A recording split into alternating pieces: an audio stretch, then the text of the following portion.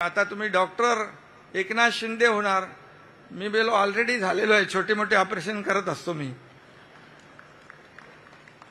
बाळासाहेब कोणाच्या मागे उभं राहिल्यानंतर काय करू शकतात काय चमत्कार होतो हे आपल्याला मला सांगण्याची आवश्यकता नाही. तेव्हा आपण घरात बसायचं नसतं रस्त्यावर उतरून त्याच्या त्याला मदत करायला पुढे जायचं असतं ही शिकवण बाळासाहेबांनी आणि धर्मवीर आनंद दिघे साहेबांनी दिली. मी एक कार्यकर्ता म्हणूनच काल काम केलं आजही कार्यकर्ता म्हणून काम करतोय उद्याही कार्यकर्ता म्हणूनच मी काम करणार नमस्कार. सगळ्यांना जय महाराष्ट्र. आजच्या या सतराव्या वार्षिक दीक्षांत समारोहाला उपस्थित महाराष्ट्राचे महामहिम राज्यपाल आदरणीय रमेश बैसजी डी वाय पाटील या विद्यापीठाचे कुलपती डॉक्टर विजयजी पाटील ज्यांना आताच डिलीट मिळाली ते आमचे मित्र लोकमतचे सर्वे सर्वा विजय दर्डाजी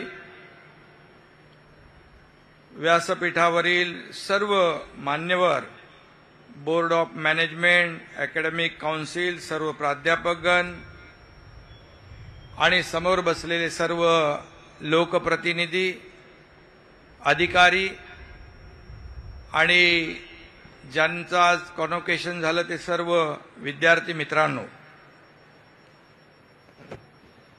राज्यपाल महोदय जी का मैं तहे दिल से स्वागत करता हूँ आपका। आप इस समारोह में उपस्थित रहे हैं। आज मेरे पास अपनी भावनाओं को व्यक्त करने के शब्द नहीं है।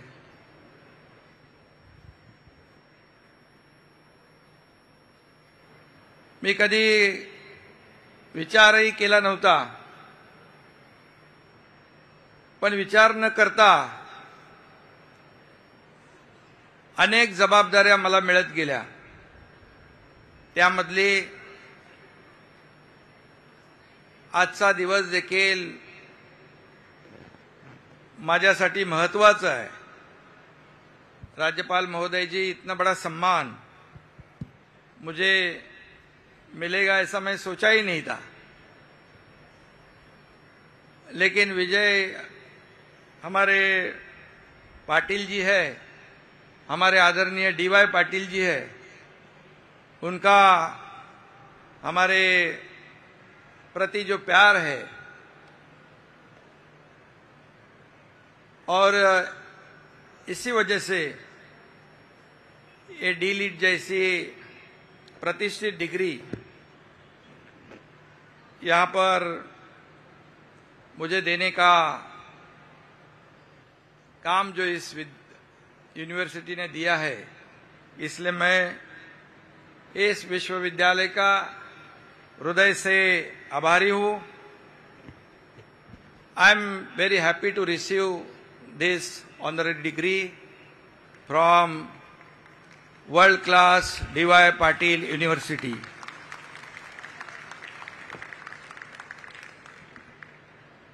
इस विद्यापीठ से प्रख्यात वैज्ञानिक रघुनाथ माशेलकर जी हो,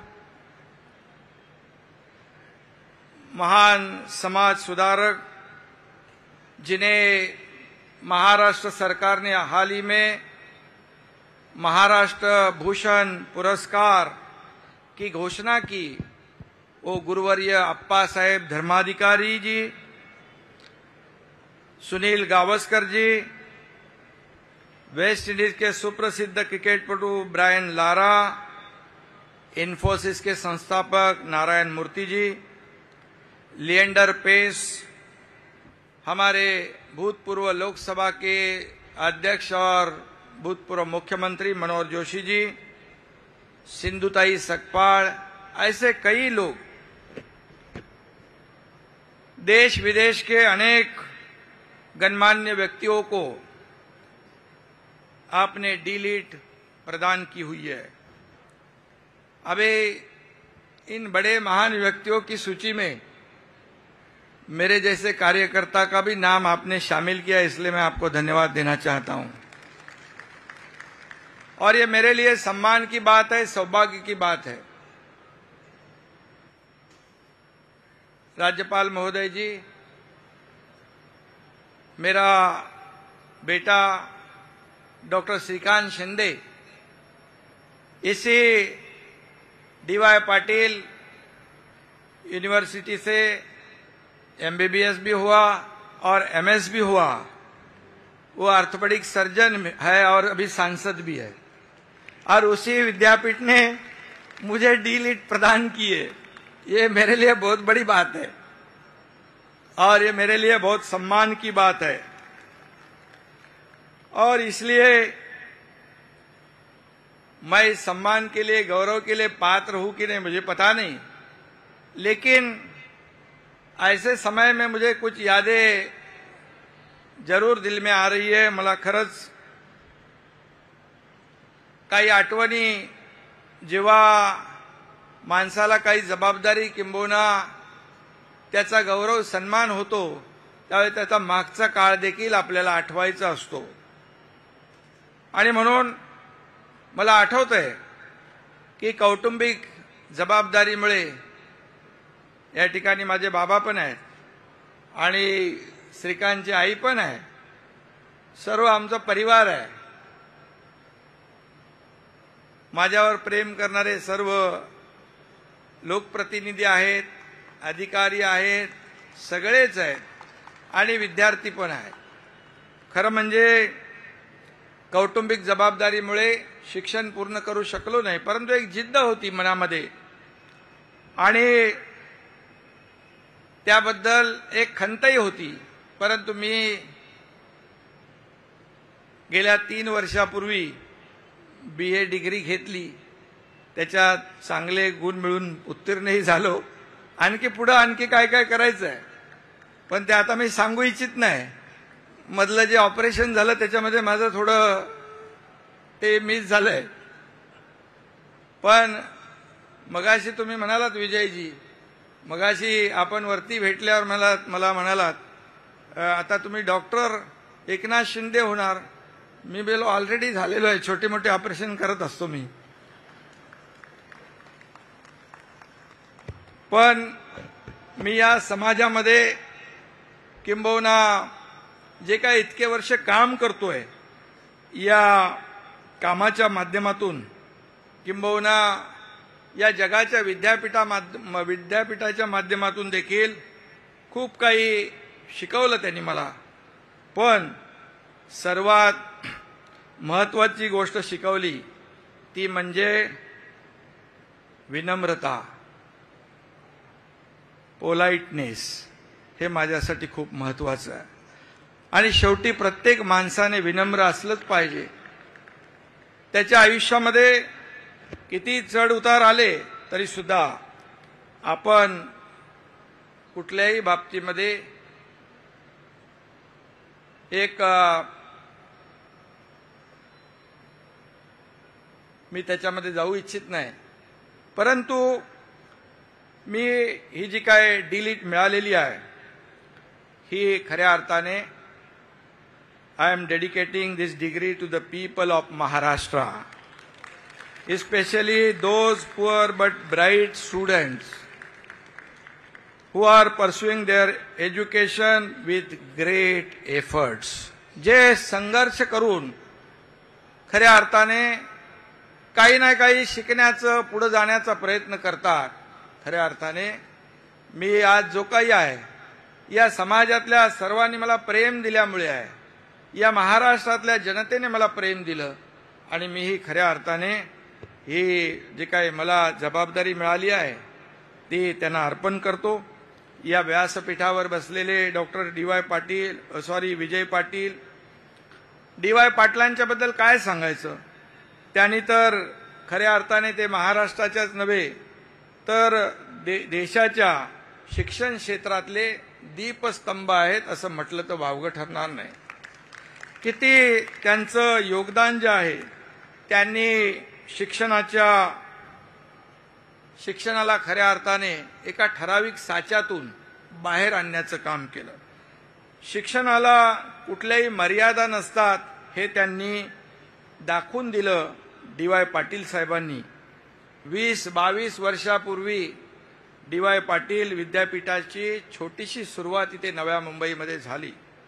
खरं म्हणजे नव्या मुंबईमध्ये तेव्हा काहीच नव्हतं. सुरुवात होती. आणि आज जे आपण पाहतोय या विद्यापीठामुळे देखील या भागाचा चेहरा मोहरा बदलला. एक ओळख निर्माण झालेली आहे. एक मोठी संस्था एक ज्या भावनेने काम करते त्या संस्थेच्या येण्याने स्थापनेमुळे बरंचसं काय बदलून जातं तेही देखील या ठिकाणी आपण पाहतोय. आणि म्हणून academic excellence holistic educational experience आणि जीवनातील यशस्वी जीवनामध्ये कसं व्हायचं याचा मंत्र देणाऱ्या या विद्यापीठाने देशातल्या शिक्षण क्षेत्राला खऱ्या अर्थाने नवी दिशा दिलेली आहे. आणि म्हणून मला हेही आठवतं आहे एकोणीसशे एकोणनव्वद साली आपल्याला या भागामध्ये मेडिकल कॉलेज सुरू करायचं होतं. परंतु मेडिकल कॉलेजला आपल्याला सरकारी रुग्णालय लागतं. आणि मला आठवतंय त्यावेळेस डी वाय पाटील सरांनी बाळासाहेबांना आठवण बाळासाहेबांना केली. बाळासाहेबांना विनंती केली. आणि त्यावेळेस बाळासाहेबांनी दुसऱ्याच दिवशी सकाळी मला वाटतं या मेडिकल कॉलेजसाठी राजावाडी हॉस्पिटलचे दरवाजे उघडले. हे बाळासाहेबांचं मोठेपण आहे. आणि म्हणून बाळासाहेब कोणाच्या मागे उभं राहिल्यानंतर काय करू शकतात काय चमत्कार होतो हे आपल्याला मला सांगण्याची आवश्यकता नाही. परंतु बाळासाहेबांच्या कर्तृत्ववान आणि दिलदार आणि दूरदृष्टी असलेल्या नेतृत्वामुळे या ठिकाणी ती घटना घडली. पण पाटील साहेब पण विसरले नाहीत. जेव्हा ते दोन हजार नऊमध्ये राज्यपाल म्हणून त्यांची नियुक्ती झाली. त्यावेळेस बाळासाहेबांचा पहिला आशीर्वाद घ्यायला देखील ते त्या ठिकाणी गेले. हे देखील डी वाय पाटील साहेबांचं मोठेपण आहे. आणि म्हणून एक इन्स्टिट्यूट बनवायला देखील सोपं नसतं. पण ते त्याची जी काय वाटचाल आहे आणि ती चालवणं पुढं नेणं हे देखील सोपं नसतं. ते या ठिकाणी डी वाय पाटील विद्यापीठाच्या माध्यमातून आपण पाहतोय.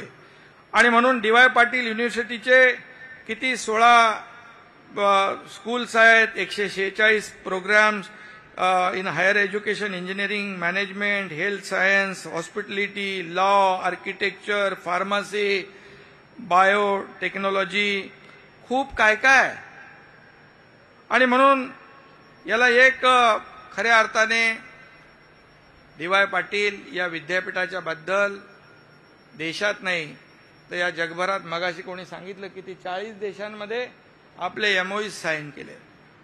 ही मोठी गोष्ट आहे.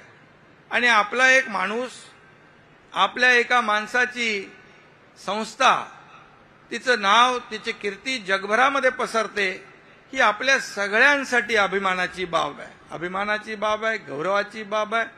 आणि म्हणून या ठिकाणी मी आपल्याला सांगेन या कोल्हापूर असेल पुणे असेल नवी मुंबई असेल या इतर ठिकाणी असेल त्यांची हॉस्पिटल्स आहेत. आणि त्यामध्ये देखील खूप मोठ्या प्रमाणावर रुग्णसेवा होती आहे. ही रुग्णालये देखील लाखो रुग्णांसाठी वरदान ठरलेली आहेत. मला आठवत आहे करोनाच्या काळामध्ये मी देखील स्वतः फोन केले होते. आणि करोनाच्या कोविडच्या काळात देखील या डी वाय पाटील हॉस्पिटलने खूप लोकांची सेवा केली. आपण पाहिलं तेव्हाचं काळ. तेव्हाचं काळ अतिशय अगदी अनपेक्षित संकट आलं होतं. कुणालाही याची कल्पना नव्हती. कसं हँडल करायचं कसं कंट्रोल करायचं? परंतु त्या काळामध्ये आपण पाहिलं की डी वाय पाटील या संस्थेने खूप हजारो लोकांना मदत केली. आणि खऱ्या अर्थाने या मी मला हेही माहीत आहे की एकदा इथे आपल्या जवळपास एक लाख सव्वा लाख लोकांचं मेडिकल कॅम्प झाला होता. आपल्या नानासाहेब धर्माधिकारी प्रतिष्ठानच्या माध्यमातून. तेव्हा पाहिलं आपण एक सव्वा लाख दीड लाख लोकांनी या डॉक्टरांनी हजार दीड हजार डॉक्टरांनी मेहनत केली. आणि मला वाटतं त्याचं लिम्का बुक ऑफ वर्ल्डमध्ये देखील त्याची नोंद झाली.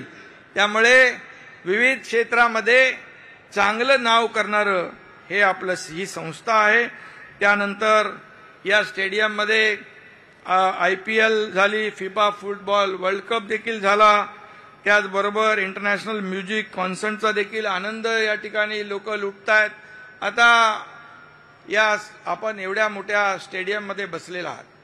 ही देखील डी वाय पाटील आणि विजय पाटील इथे बसले त्यांचे सुपुत्र यांच्या मेहनतीची देण आहे. आणि म्हणून मी त्यांना मनापासून खूप खूप धन्यवाद देतो.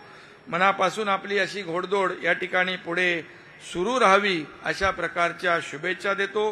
ही पदवी प्रदान करताना जे का आपण वाचन केलं ते मी ऐकत होतो. मानपत्र जे आहे तेव्हा खऱ्या अर्थाने मला वाटलं की आपल्याबद्दल वाचताय. कारण शेवटी मी आतापर्यंत जे काम केलं त्याचं त्याचं बक्षीस जेव्हा माणसाला मिळतं तेव्हा त्या कामाचं थोडंसं पण आपण जे काय मला ज्या काळामध्ये गेल्या अनेक वर्षामध्ये पाहिलं शेवटी माझी जबाबदारी आहे. मी काही असं कोणावर उपकार केलेले नाहीत. शेवटी लोकप्रतिनिधी म्हणून जेव्हा आपल्याला संधी मिळत असते जेव्हा आपल्याकडे पद असतं जेव्हा आपल्याकडे जबाबदारी असते त्यावेळेस त्या जबाबदारीचा वापर त्या पदाचा वापर सर्वसामान्य माणूस जेव्हा अडचणीत येतो संकटात येतो तेव्हा आपण घरात बसायचं नसतं रस्त्यावर उतरून त्याच्या त्याला मदत करायला पुढे जायचं असतं ही शिकवण बाळासाहेबांनी आणि धर्मवीर आनंद दिघे साहेबांनी दिली. म्हणून महापूर असू द्या अगदी राज्यात असू द्या केरळमध्ये असू द्या उत्तराखंडमध्ये असू द्या कुठंही आमची टीम कधी डॉक्टरांसोबत घेऊन ही टीम गेली. कोविडमध्ये देखील आपण काम केलं. ती आपली जबाबदारी होती. आणि जबाबदारीचं पालन आपण ते केलेलं आहे.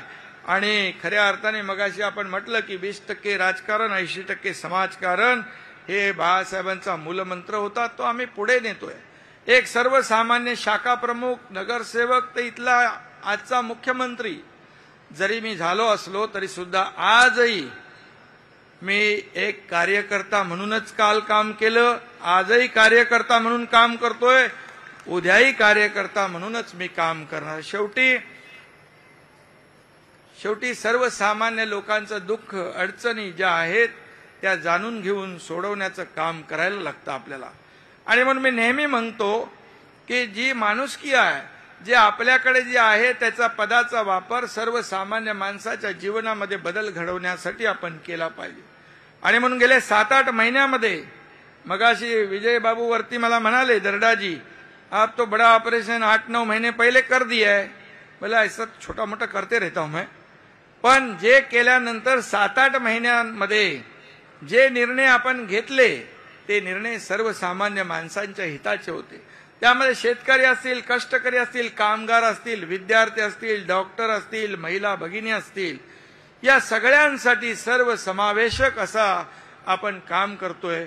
नुकतं अर्थसंकल्प देखील झाला त्यात देखील सगळ्या लोकांना आपण समाविष्ट केलेला आहे. शेवटी हे सरकार आपल्या सर्वसामान्य लोकांसाठी या समाजातल्या प्रत्येक घटकासाठी हे सरकार बांधील आहे. एवढंच मी या प्रसंगी सांगतो. आणि मी नेहमी आपण पाहतो की ज्या चांगल्या गोष्टी आहेत त्याच्याकडे आपण पाहायचं चांगल्या गोष्टींचं अनुकरण करायचं परंतु वाईट गोष्टी असतील त्रास त्रास देणाऱ्या गोष्टींकडे दुर्लक्ष करायचं असतं हे मला नेहमी धर्मवीर आनंद दिघे साहेब सांगायचे. आणि म्हणून मी आरोपाला आरोपाने कधीच उत्तर देत नाही. आरोपाला मी कामातून उत्तर देत असतो हे देखील आपल्या सगळ्या महाराष्ट्राने पाहिलेलं आहे. आणि म्हणून आज जरी हा सगळा प्रवास स्वप्नवत वाटत असला तरी सुद्धा तो सोपा नव्हता खडतर होता.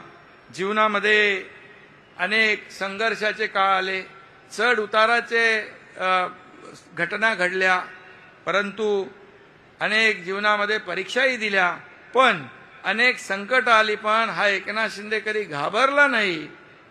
एवढं मात्र ठामपणे या ठिकाणी मी आपल्याला सांगू इच्छितो त्याचा सामना करत करतच इथपर्यंत मी पोहोचलेलो आहे. आणि मुख्यमंत्री म्हणून जेवढं काय मला या राज्यातल्या जनतेसाठी सर्वसामान्य लोकांसाठी करता येईल तेवढं मी नक्की करणार आहे. आणि म्हणून मी नेहमी सांगतो माझी एक वेळ श्रीमंतांच्या यादीमध्ये माझं नाव येणार नाही पण माणुसकीच्या यादीमध्ये माझं नाव नक्की येईल. याचा मला अभिमान आहे. आणि म्हणून जे आज तुम्ही शिक्षणाला जे काय महत्त्व विजय बाबूंनी देखील मगाशी सांगितलं या खऱ्या अर्थाने या माणसाच्या सर्वांगीण विकासाचा पाया शिक्षण आहे. आणि हे ओळखूनच शाहू फुले आंबेडकरांनी शिक्षणाची मुहूर्तमेढ रोवली. आज आपण तोच विचार समोर ठेवून काम करतो आहोत. यामध्ये मला आठवत आहे नेल्सन मंडेलाने देखील त्यांचं एक कोट आहे. त्यांचं हे- त्यांनी हे म्हटलंय education is the most powerful weapon which can use to change the world क्रांती घडवू शकतो आपण या शिक्षणाच्या माध्यमातून. आणि म्हणून आज विजय पाटील डी वाय पाटील त्यांचे सर्व सहकारी यांचं मी मनापासून अभिनंदन करतो. एवढ्या मोठ्या कॅम्पसमध्ये आपण हजारो विद्यार्थ्यांना विद्यादानाचं काम करताय. पवित्र हे जे काय विद्यादानाचं काम आहे किती हजारो डॉक्टर इथून तयार होतील ते लाखो लोकांची सेवा करतील हे देखील खूप महत्वाचं आहे. आणि म्हणूनच आपण जे काम करताय त्याला तोड नाही आमचं सरकार देखील शिक्षणाबाबतीमध्ये अतिशय सजग आहे. आणि म्हणून शिक्षणामध्ये देखील जे जे काय आपल्याला आमूलाग्र म्हणजे आणखी चांगल्या सुविधा कशा देता येतील त्यासाठी आपलं सरकार प्रयत्न करतंय.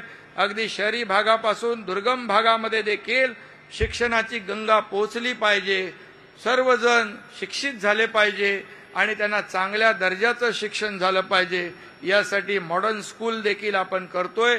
चांगल्या प्रतीचं शिक्षण. महापालिका शाळा असतील जिल्हा परिषद शाळा असतील शासकीय शाळा असतील यामध्ये आश्रम शाळा असतील त्याचा दर्जा वाढवला पाहिजे. यासाठी देखील आपण प्रयत्न करतोय. आणि त्यामुळे मी तुम्हाला आता हे स्पर्धात्मक युग आहे. याच्यामध्ये कॉम्पिटिशन आहे. आणि कॉम्पिटिशनमध्ये देखील आपल्याला टिकून राहायचं आहे. आणि म्हणून शासन म्हणून नक्की या राज्याचा विकास मगाशी मला ते वाचताना सांगितलं इन्फ्रास्ट्रक्चर प्रोजेक्ट जे आहेत हे आपण करतोय. खऱ्या अर्थाने ज्या राज या देशामधल्या या महाराष्ट्रामध्ये सगळ्यात जास्तीचे इन्फ्रास्ट्रक्चर प्रोजेक्ट आपल्या महाराष्ट्रामध्ये सुरू आहेत. मग मेट्रो असेल समृद्धी हायवे असेल एमटीएचएल असेल रिंग रोड असेल पुणे मुंबई मिसिंग लिंक असेल असे अनेक प्रकल्प आपण पुढे नेतोय आणि पुढच्या एखाद वर्षामध्ये टप्प्या टप्प्याने त्याचं लोकार्पण होणार आहे. आता जो आपला एम टी एच एलचा मुंबई विजय बाबू एल मुंबईमधून जो निघतो शिवडी नावाशेवा तो इथे आपल्या पुढे चिरलेला लँड होतोय. तुम्हाला दीड ते दोन तास आता लागत असतील पण हा प्रकल्प आपण पुढच्या ऑक्टोबर नोव्हेंबर डिसेंबरच्या आत पूर्ण करतोय. दीड दोन तासाचं अंतर फक्त पंधरा मिनिटावर येणार आहे पंधरा मिनिटावर. हा मिराकल आहे गेम चेंजर प्रकल्प आहे. शेवटी समृद्धी हायवे हिंदुहृदय सम्राट बाळासाहेब ठाकरे समृद्धी हायवे नागपूर मुंबई. पंधरा अठरा वीस तास लागायचे. आज तुम्ही या पुढच्या वर्षभरामध्ये तो मुंबईपर्यंत ठाण्यापर्यंत येतोय. केवळ सहा ते सात तासामध्ये नागपूरचा माणूस मुंबईत येईल आणि मुंबईचा माणूस नागपूरमध्ये जाईल. असे प्रकल्प आपण या राज्यात राबवतोय आणि म्हणून ज्या राज्यामध्ये ज्या शहरामध्ये पायाभूत सुविधांचे प्रकल्प मोठे त्याची भरभराट आणि प्रगती मोठ्या प्रमाणावर होत असते. त्यामुळे तुम्हाला देखील आता इथून नव्या मुंबईतून मुंबईला यायचं असेल तर ताबडतोब पोचाल. त्यामुळे ह्या सगळ्यांना त्याची सुविधा मिळणार आहे. आणि म्हणून मी आपल्याला मनापासून धन्यवाद देतो. जे आज ज्यांना ज्यांचं कॉन्व्होकेशन झालंय त्या विद्यार्थ्यांचं मी मनापासून अभिनंदन करतो. त्यांना फक्त एवढंच सांगतो आपल्याला आयुष्यामध्ये यशस्वी व्हायचं असेल तर जिद्द पाहिजे. एक डिटर्मिनेशन डिटर्मिनेशन डिवोशन डेडिकेशन हे महत्वाचं आहे. आणि हे आपण केलं तर नक्की आपल्याला कुणीही पराभूत करू शकणार नाही. यश आपल्याला हमखास मिळणार आणि आपण पुढे जाल. अशा प्रकारच्या शुभेच्छा आपल्या सगळ्या विद्यार्थ्यांना देतो मी. आणि मला आपण ही विद्यापीठाने पदवी दिलेली आहे. याबद्दल मी पुन्हा एकदा आपला सगळ्यांचा आभारी आहे. आणि खऱ्या अर्थाने गुरुदक्षिणा म्हणून माझी जी काय आपण जी पदवी दिली आहे याच्यासाठी मी शिक्षणाप्रती विद्यार्थ्यांप्रती ही बांधिलकी जी माझी आहे ही आजन्म राहील अशी ग्वाही देखील आपल्याला देतो. आणि जे जे काय शिक्षण क्षेत्रात चांगलं करायचं आहे ते नक्की केलं जाईल अशी खात्री देतो. पुन्हा एकदा आपल्या सगळ्यांना मनापासून धन्यवाद. जय हिंद जय महाराष्ट्र.